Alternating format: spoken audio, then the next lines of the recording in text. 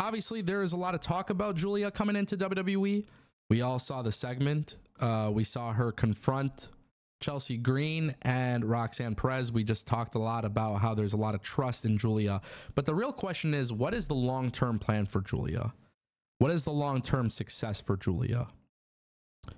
And I, I find this to be a very interesting question because I know a lot of people are already starting to hate on Giulia, and that's just how the internet wrestling community works. Like, anytime somebody's becoming successful and it's not in the company that they want, people are obviously going to be bothered and they're going to be outspoken. And this is the this is the part of the wrestling industry I absolutely do not respect.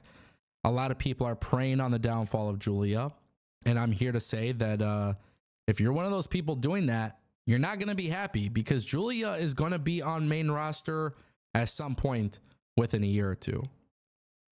A hundred percent. The the reality is Giulia just needs to learn the American system. And the cool thing about Giulia coming into WWE and going specifically to NXT is that she could figure it out in real time. And I think a lot of people do tend to forget that is something that could be done. But there is a lot that could be done in real time. She is going to learn how to work the camera in front of the crowds. She's going to learn how to interact with the audience. She's going to learn how to have different facial expressions at different times. But the thing about her is that she's very polished. She is very polished in the ring. And I think a lot of times what, what is what is happening right now on social media is that a lot of people are upset with the fact that they automatically assume that WWE is going to make her tone down her in-ring style. And that could be true to a certain extent, but I think even if they do have her tone down her in-ring style, I don't think it's going to be an issue. I think people really do forget how important aura and presentation is.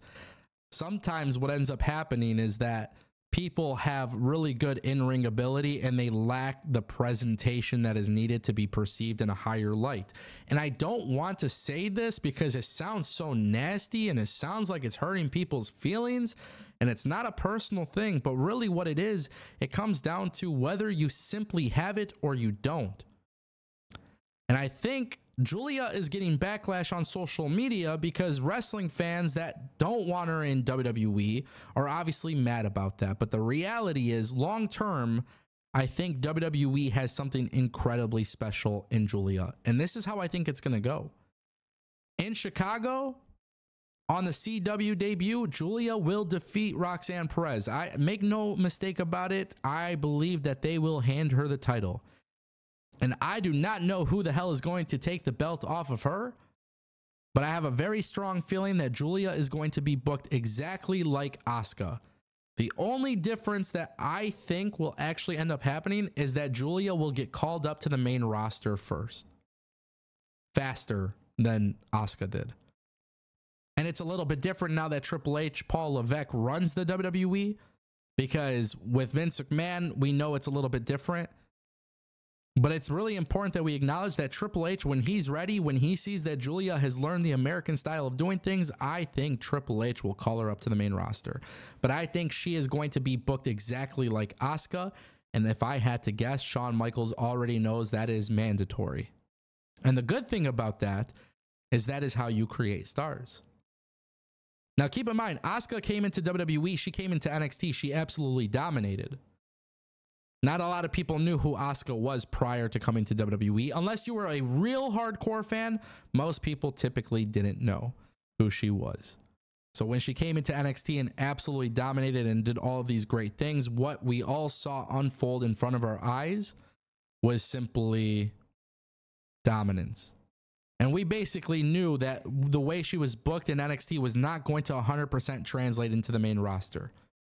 So Giulia is in a little bit of a better situation because Vince McMahon is not in this company. Vince McMahon is not running this company. Kevin Dunn isn't running this company. The new regime is going to handle Giulia in ways that I think a lot of fans are going to be really pissed off that their favorite wrestling promotion did not be able to get her. But long term, I do believe Giulia will be a massive success. But I think it all starts with Roxanne. Now, we know that Delta's coming in. We know that Stephanie Vaquer is coming in. We know that WWE is building up so many different women in NXT. We know that they're working in uh, a partnership with TNA.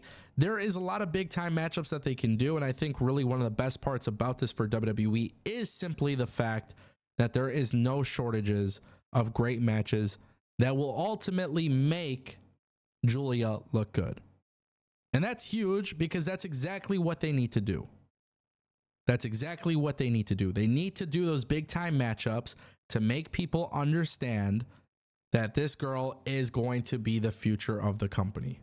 Now, I don't know how old Giulia is. I didn't decide to to, you know, Google it before I went up li- live, but I think if you're the WWE and you push Giulia to the moon, you're doing something else that is really good for the for the brand of NXT, and that is you are having an opportunity being saved for Stephanie Vaquer, Zeta Steel, Delta, uh, and whoever else they want to push. I think the more that they push Giulia to the top and they cement her as the final boss of NXT's women's division, whoever beats her, it's almost like a passing of the torch type of moment. And so I got really excited when I saw Giulia come out and attack Chelsea Green. I got really excited when I saw her confront Roxanne Perez. But I got excited because I'm starting to realize that WWE is laying out the plan right in front of us.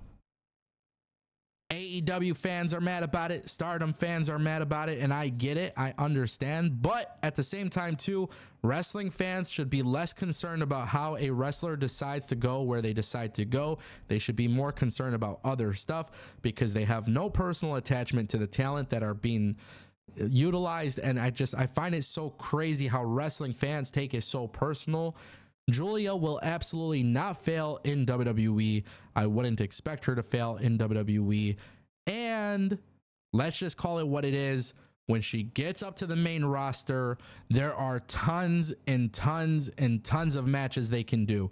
So not only can Giulia work against TNA talent, she can go back to Marigold as well, but then after she conquers NXT, she's going to go to the main roster and do it all over again.